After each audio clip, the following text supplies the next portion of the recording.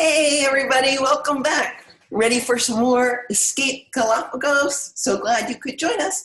And some of you sent me some questions, and I'm gonna I'm gonna answer some at the end of today's reading. But don't forget, you can send them in while I'm reading, but also you can tweet them to me at EL Prager on Twitter. Um, just a little recap. If you remember, last time we left off, Ezzy, Skylar, Luke, her little brother and father, were on Espanola Island, and Ezzy had just had a little snake and hawk incident, was a little freaked out and said she wasn't going on any more excursions in the Galapagos Islands. So let's begin today. We're on chapter seven, nighttime in the Galapagos. That evening, Ezzy caught several people glancing her way and snickering. No one had mentioned the snake incident, but word must have spread around the ship about her unfortunate reptile from the sky encounter as they didn't think the other passengers would think it was very funny if it happened to them. She was still set on her plans not to go anywhere near anything slithering with wings, claws, or fins anytime soon. She'd just had to accept her issue with wild animals, and that she wasn't as much like her mother as she and her father had hoped. After the briefing for the next day's excursions, they went to dinner. Ezzy sat quietly while her father and Luke did all the talking. They recounted the hike and described all the animals they'd seen. Luke repeatedly peeked over at his sister, looking about ready to burst. Finally, when he clearly couldn't hold it in any longer, he blurted out, You should have seen your face, Ez, when that snake fell on you. Luke nearly doubled over laughing.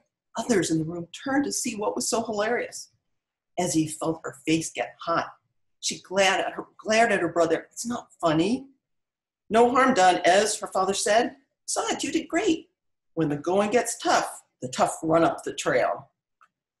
She gave them a disgusted grunt, got up, and stomped away from the table. We're just getting as her father called out, come back.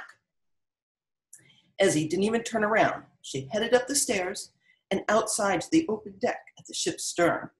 If she weren't so angry, she might have cried. But then she looked up. Whoa! The sky was bursting with stars. Back home, Ezzy had seen stars, but nothing like this. It was the twinkling night sky at home on steroids. Next thing she knew, Luke and her father were at her side. We were just kidding, sis, Luke said sweetly. Her father put his arm around her, gave Ezzy a comforting squeeze, and looked upward, following her gaze. Quite the show tonight. Luke also turned to skyward. Awesome! He pointed to an especially dense band of stars. Is that the Milky Way? I believe it is, his father answered. Without the lights of civilization, here you can see what the night sky really looks like. Ezzy hadn't really thought about how much difference all the lights of cities and towns make up. Soon a bright speck of light shot across the backdrop of shimmering stars. I think I just saw a shooting star. As she stood watching the stars with her father and brother, Ezzy's anger subsided. In her heart, she knew her family didn't mean to hurt her feelings. Ezzy thought about how sometimes when people think they're joking, it can be hurtful. She made a mental note to herself to remember that for the future. When her neck got sore from staring upward, Ezzy glanced over the side of the ship toward the bow. At first, she thought she was seeing things. Too many stars on the brain. But then she looked again and pointed. Dad, there's, there's some kind of light out there in the ocean. See, it's red, and I think it's flashing. Where? Right there, she said, pointing again. There are a couple of red lights, I swear. I'm not imagining it. Her father squinted, staring out into the dark. Ez, I think you're right. Just then, Giovanna happened by. It's a perfect night for stargazing. Ezzy pointed at the ocean, Giovanna, what are those red lights out there? The naturalist cupped her hands around her eyes and stared in the direction Ezzy was pointing. Oh, mierda! She didn't speak Spanish, but Ezzy didn't think the naturalist was saying, oh, happy day. Giovanna ran to a phone on a wall nearby. She grabbed it and spoke rapidly in Spanish. After hanging up, she came running back. Do you still see the lights? They peered out into the night's darkness. The ship began to slow. It then started turning. In the distance, Ezzy could still see a glimpse of red underwater. What is it? her father asked. An illegal fishing net, Giovanna groaned.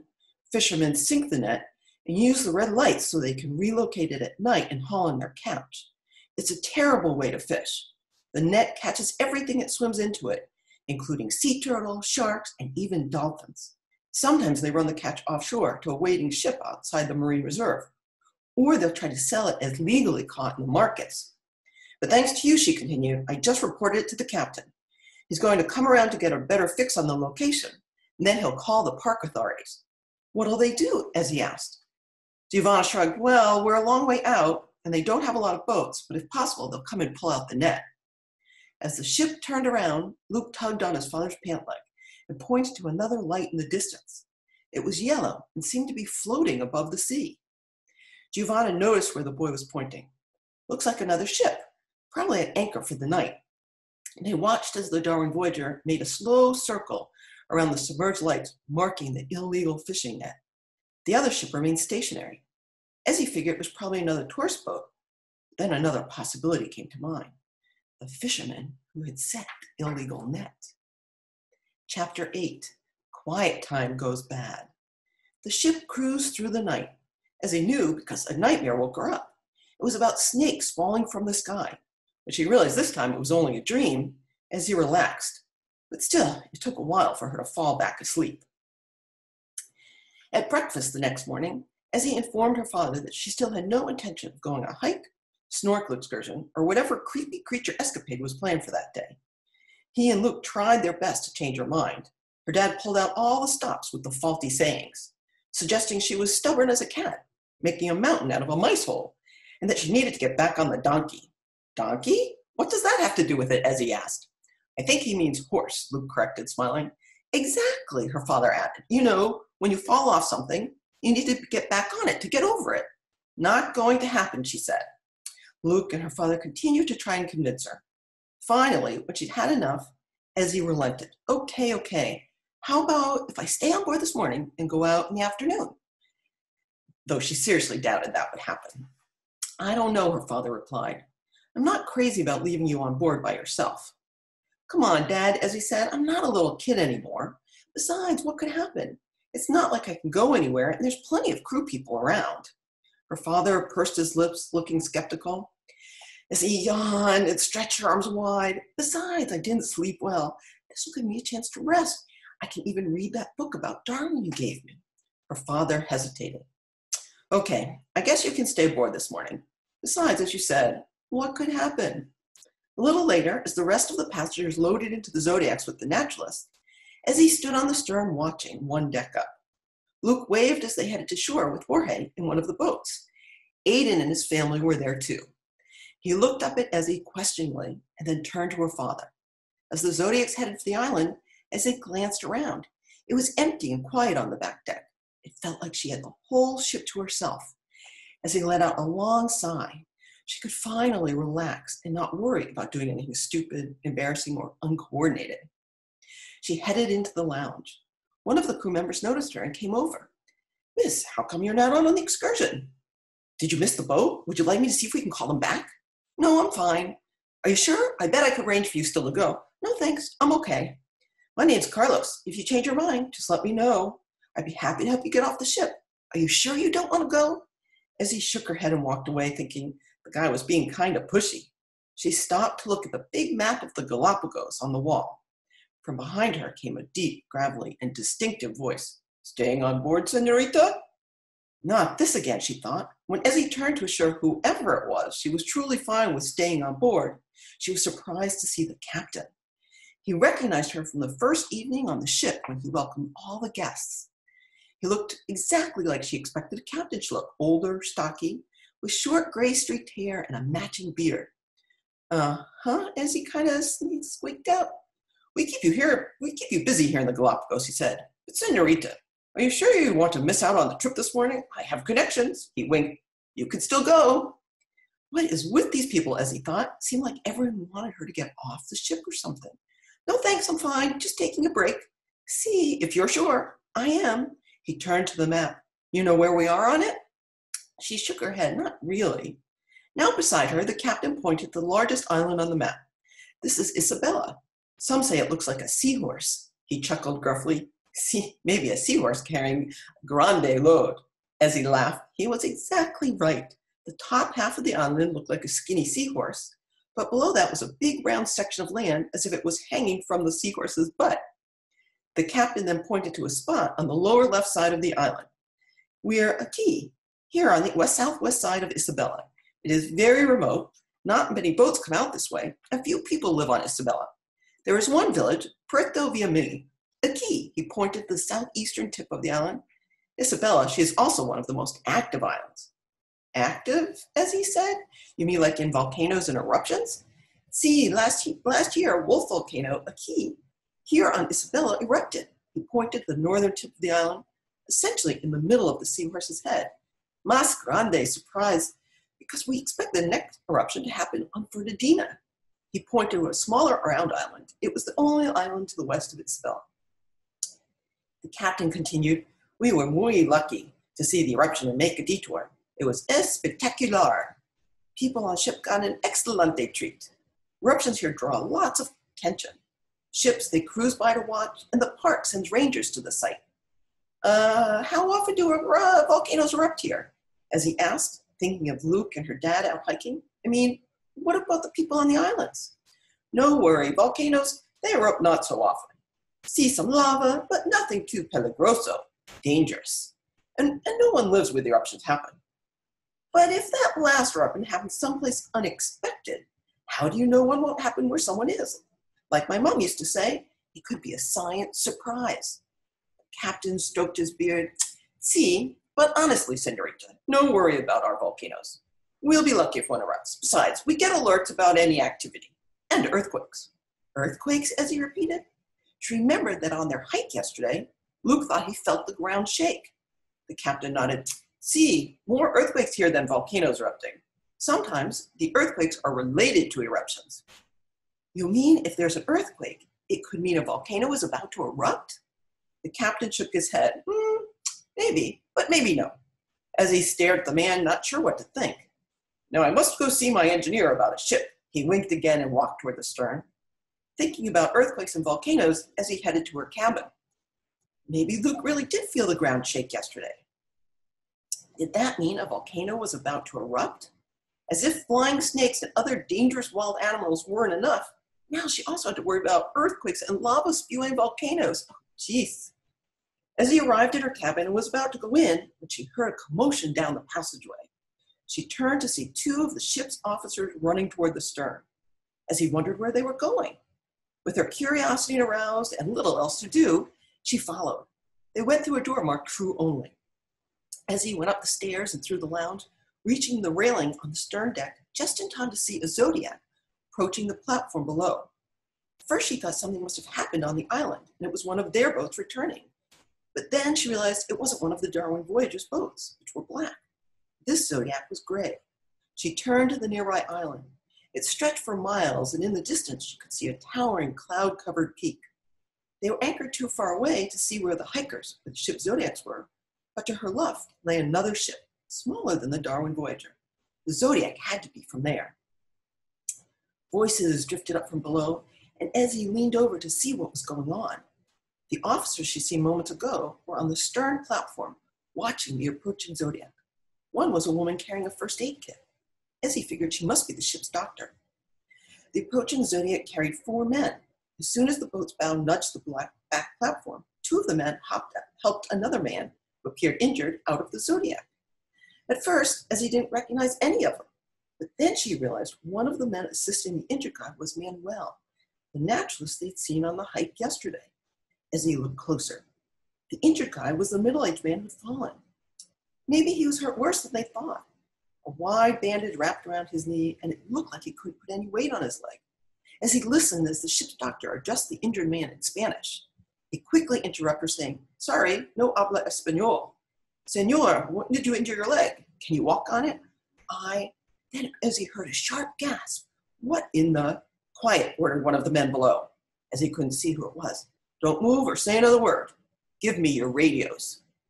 That doesn't sound good, thought Ezzy. There was a long pause in the conversation. She cautiously leaned further over to get a better look at what was going on, but they'd stepped further back and out of view. Now let's go see the captain. And no funny bits, or you and this gentleman here will be taking a little swim with the sharks. That definitely didn't sound good Ezzy thought. She heard them moving on the platform below toward the stairs. They were headed up to where she was standing. Searching for a place to hide, she spotted another door labeled crew only. With no other obvious choice, she ran for it and slipped through. It led to a short, narrow, empty corridor lined with storage cabinets and what looked like refrigerators. She stood silently for a few moments trying to decide what to do. No one had followed her in or come into the corridor. So a few minutes later, driven by curiosity, Ezzy crept back to the door cracked it open just enough to see through. The first person up the stairs was one of the men from the other ship Zodiac. It was the burly goatee dude from the hike who wore dark shorts and a khaki shirt like the naturalist and had a towel draped over his bulging forearm. The sun glinted off something just poking out from under the towel Ezzy caught a glimpse of what appeared to be dark metal. It looked like the tip of something, maybe a, a gun. She gasped and slapped, slapped her hand over her mouth, afraid they might have hurt her, as his heart thumped like thunder in her ears. The big goatee guy glanced around and then turned to watch as the others came up the stairs. The doctor was next, helping the injured man. Both appeared scared and confused. Behind them came the naturalist Manuel, and then the other officer from the Darwin Voyager. At their heels was the other man from the other Zodiac. He was the other guy Ezzy had seen on the hike, the skinny man with the droopy mustache. He wore clothes similar to the big guy and also had a towel draped over one arm, which he pointed at the group. The last man stared at the others, stroked his mustache lovingly, and in a slow drawl said, Okay, nice and easy. No mistakes and no one will get hurt. Are all the passengers off the ship? The Darwin Voyagers turned to the man hesitantly. I believe so. Okay then, keep going. They headed into the lounge, and Ezzy slumped to the floor. Her mind was racing a million miles a minute. What's going on? What do they want? Her heart hammered in her chest, and sweat trickled down her forehead. She took a couple deep breaths, trying to stay calm and think what to do. Is there 911 in the Galapagos? She kind of doubted it, especially from a ship out in a remote part of the islands. What about the people on shore? Are these goons pirates? Are they going to steal stuff and leave? Or maybe they're going to take the ship and leave the people on the island, including Luke and her dad. Ezzy suddenly wished she was on an island surrounded by lots and lots of wild animals. She sat for what seemed like a long time trying to come up with a plan, or at least the courage to leave her hiding spot. She jumped when a loud voice boomed over the shipwide intercom. This is the captain speaking. We'll be conducting an emergency drill in the next five minutes. All crew and staff report to deck four for your assignments. With trembling, rubbery, rubbery legs, Ezzy stood and peeked out the door, the back deck appeared empty. She slipped through the doorway and made her way to the back railing, but drew back in a hurry. The other ship was pulling up behind the Darwin Voyager, and more men were soon ready to climb out. Things had just gone from bad to worse. Oh, how she missed those booger sneezing iguanas. Chapter 9 Hijacked. Ezzy ran back through the crew only doorway into the small empty quarter, corridor, should she find a better hiding spot and wait to see what happened, or try and get off the ship? During the emergency drill the first day, Captain explained the ship had life rafts that automatically inflated when tossed overboard. She could throw one overboard and then jump for it. Then what? And if she jumped overboard, what about sharks? Taking a deep breath Ezzy willed herself to calm down and think, before doing the abandoned ship swim with sharks routine, she decided it's better to figure out what the men wanted after, since they had invaded the ship. If they planned to take it and leave everyone on the island, she wanted to be with her dad and brother, even if she had to go overboard and paddle with great whites. Then again, if they were just there to steal stuff, Ezzy hoped they would leave once they had what they wanted. As quietly as possible, she crept through the crew corridor to a connecting door and peeked through its small round window. It led to the lounge behind the bar. Not seeing anyone, she slipped silently through the doorway and crawled behind the bar cautiously. She rose to look around. The room was quiet and appeared empty.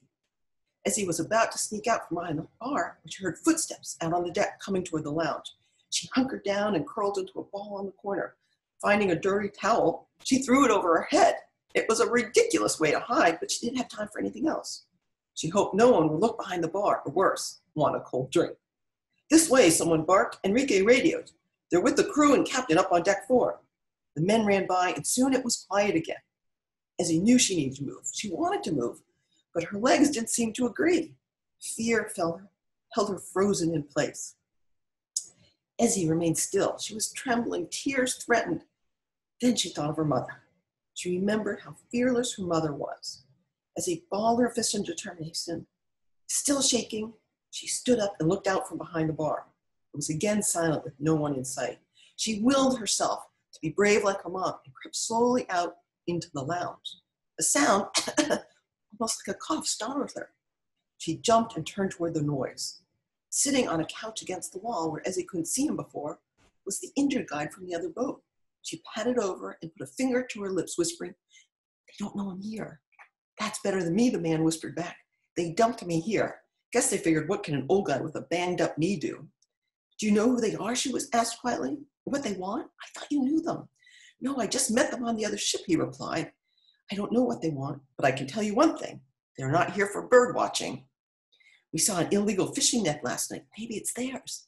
The man shrugged, maybe. My dad and brother on the island. Do you think they're going to take the ship and leave them there? I don't know, he said. But if another ship comes this afternoon to do a hike, they'll find them the islands and notify the authorities.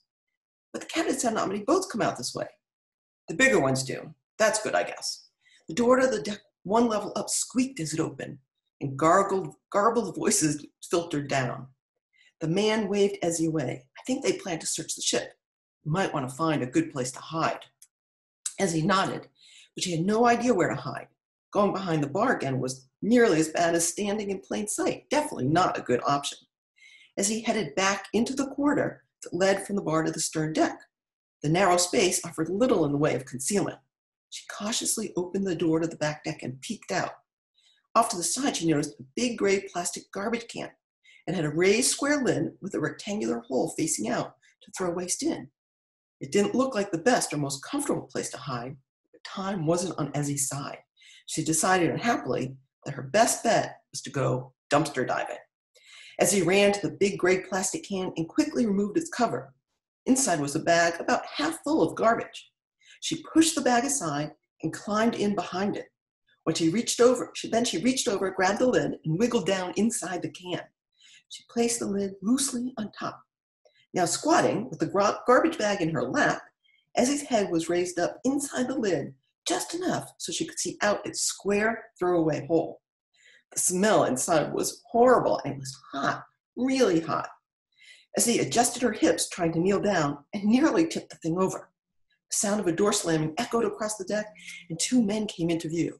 Ezzy froze, it was the dark, hulky goatee guy and his stringy haired mustached partner from the other ship. Check all the cabin, crew areas, and engine room, Mustache Man said while caressing his facial hair as if it was a pet. We'll start loading the gear and take off some of the crew. Got it, replied the burly dude. How long do we have before the people on the island get back? About an hour. So move your big butt. Hey, that's all muscle, pal, he replied, flexing his overly large biceps. Not like your chicken legs and skinny. Just move your pumped up gluteus, said the stringy haired guy, again petting his mustache Ezzy rolled her eyes at the conversation, but also breathed a tiny sigh of relief. Based on what they'd said, they weren't going to take, take the ship and leave the hikers on the island. She wouldn't have to take a swim with the sharks after all. Ooh, no, she's stuck in the pail. And that is all for today. We're going to leave Ezzy stuck in the garbage pail with the bad guys on the ship. And Luke and her father are still out on the island. Oh my gosh, I don't know what's going to happen next.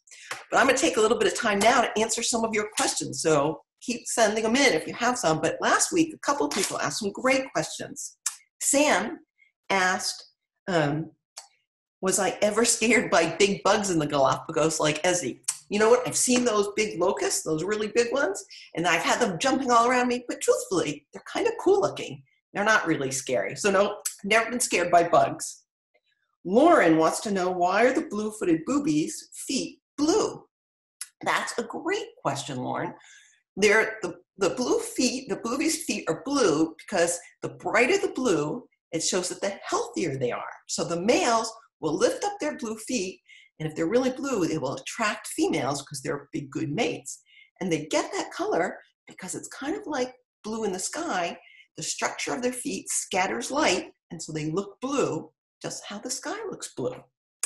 Jess wants to know what time of year the albatross do their incredible courtship dance? It's one of my favorites.